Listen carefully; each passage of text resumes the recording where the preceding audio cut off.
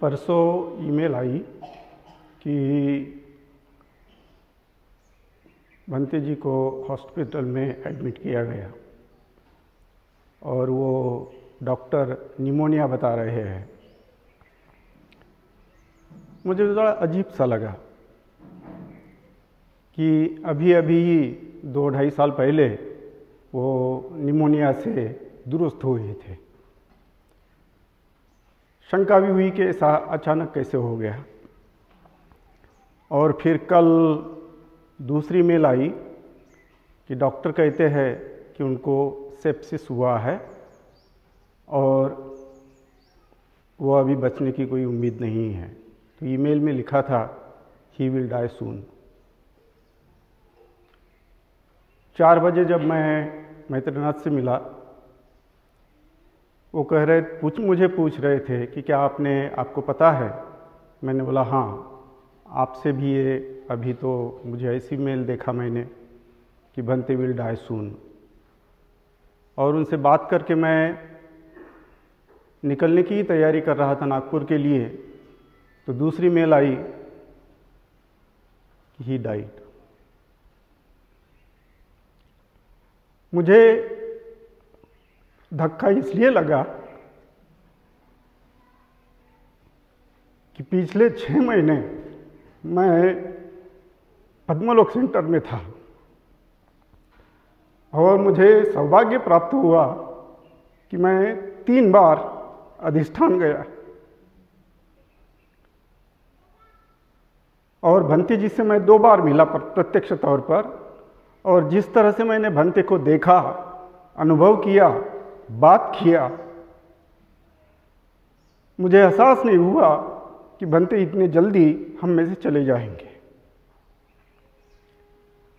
पद्मलोक में उनके जो निजी सेवक रहे हैं, पिछले 22-23 साल से, परमार्थ। उनसे जब मेरी मुलाकात हुई, और वह थी जुलाई के एंड में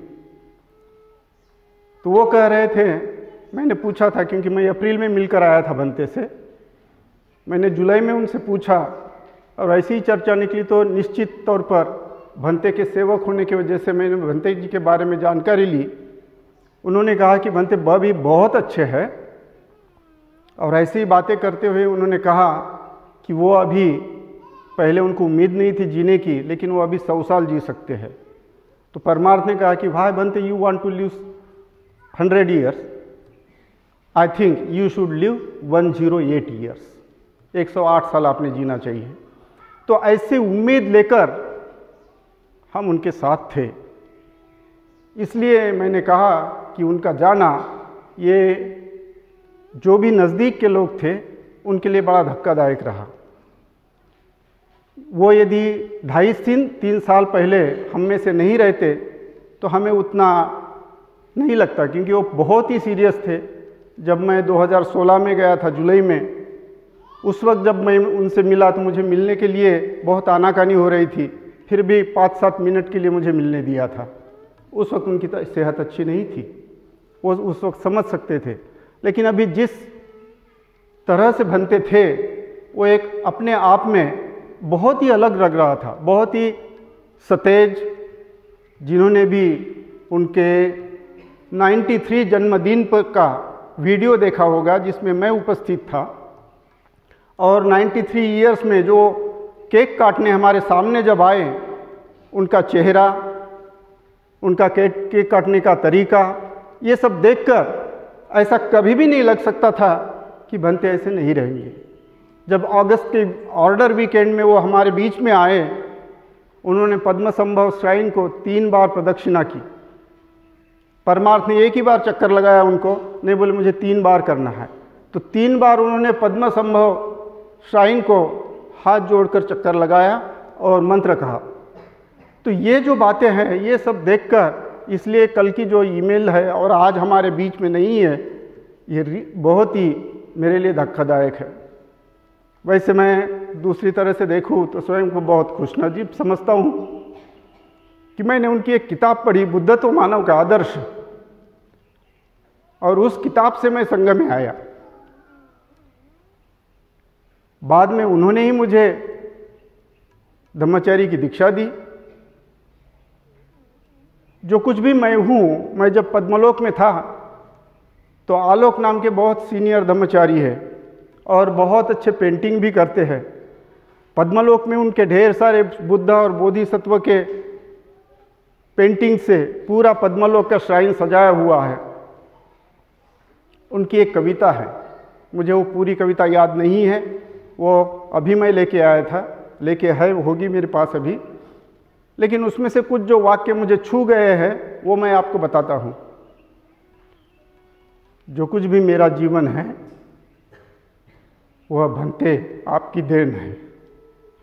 जो कुछ भी मुझमें अच्छा है, जो कुछ मैं अच्छा कर पाया, वो सब कुछ आपकी वजह से।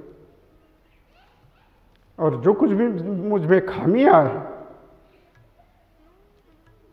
जो कुछ भी मुझमें बुराइयाँ है, वो मेरी कमज़ोरी है, वो मेरा संभ्रम है, वो मेरा ज्ञान है।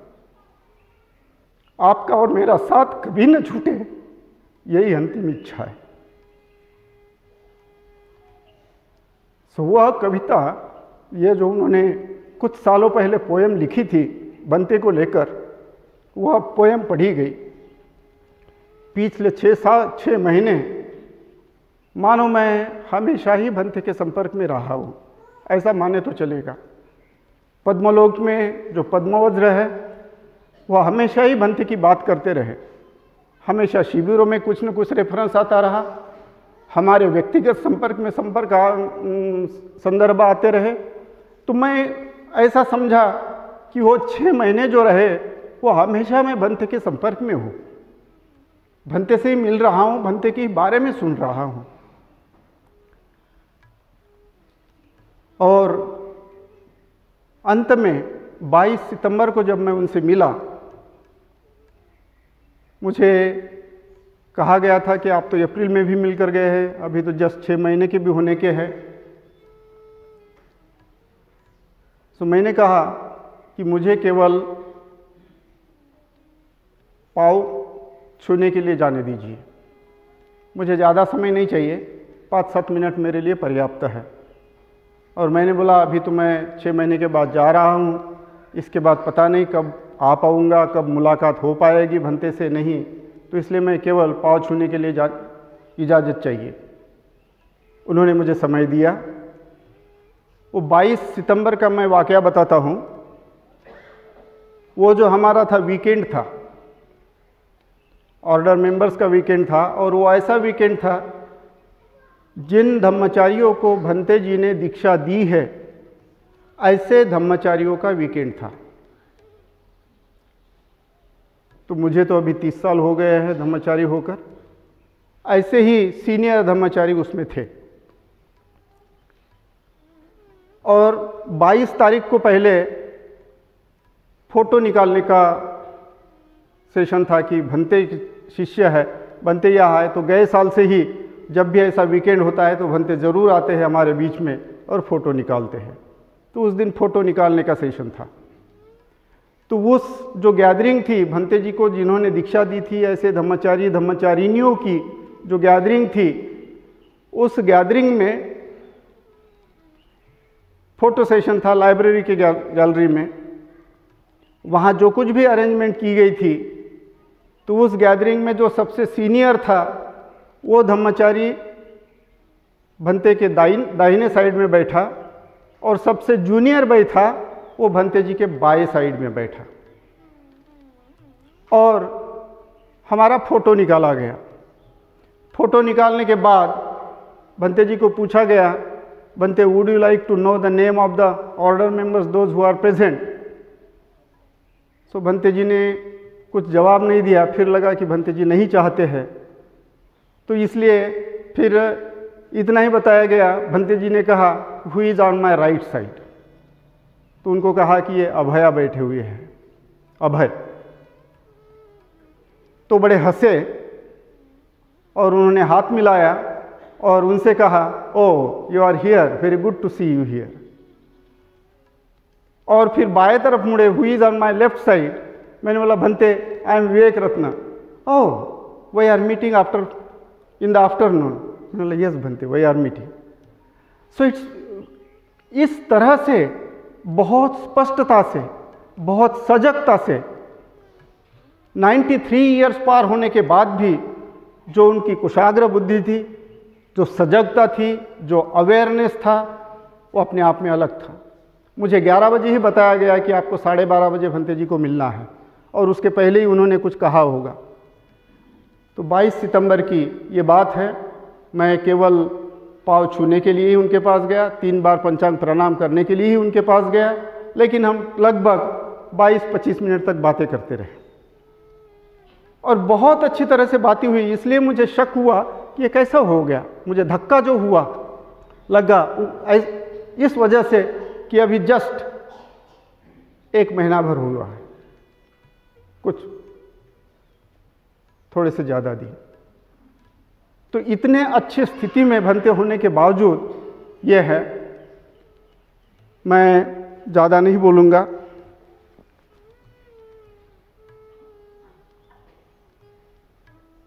बंते जी का एक वाक्य मुझे हमेशा याद रहा है और जो उन्होंने भी कहा है। बनते के गुरु पूज्य उर्गेन, पूज्य जगदीश कश्यप जी, उनको,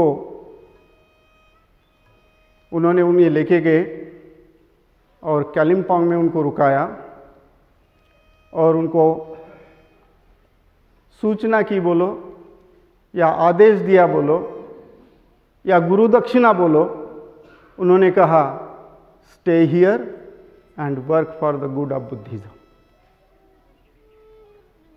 Bhante बाद में कहते हैं कि my whole life I followed the instruction of my guru stay here and work for the good of Buddhism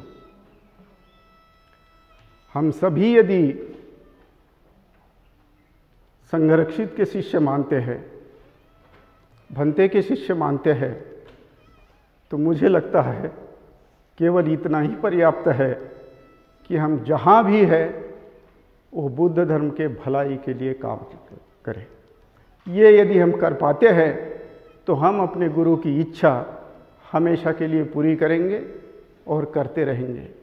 जब 24 अप्रैल को 24 22 अप्रैल को जब मैं मिला था उन्हें, उस वक्त पहली मुलाकात थी कभी कई सालों के बाद। तो उनसे मैंने कहा कि मैं नागलोक में क्या करता हूँ और भारत के अनेक अनेक प्रदेश में किस तरह से धम्म प्रचार और प्रसार का काम करने की मैं कोशिश करता हूँ। उन्होंने लोकमित्र बार बार उनको लिखते होंगे, वो उनकी बात है, लेकिन मैंने अपनी तरफ़ से जो कुछ भी बताया, उससे भंते बहुत खुश रहे हैं और उन्होंने कहा कि इतना ही पर्याप्त नहीं है, आप और ज़्यादा कीजिए। अंत 22 सितंबर के मुलाकात में कहा बनते मैं सत्तर साल का हो गया हूँ। मेरी उम्र पूरी हो गई है। भारतीय एक आदर्श स्टैंडर्ड के अनुसार, भारतीय संदर्भ के अनुसार। लेकिन इसके आगे जो भी मुझे जीवन है, मैं आपके आदेश के अनुसार धम्म प्रचार और प्रसार का ही काम करूँगा। किसी भी एडमिनिस्ट्रेशन में मैं स्वयं में हिस्सा नहीं लूँगा। मुझे लगता है कि जो उनके गुरु ने उनको कहा और मैंने अपने जो गुरु को कहा, वही मैं करता रहूँगा और वही आप भी कीजिए, इतना कहकर। जय भीम।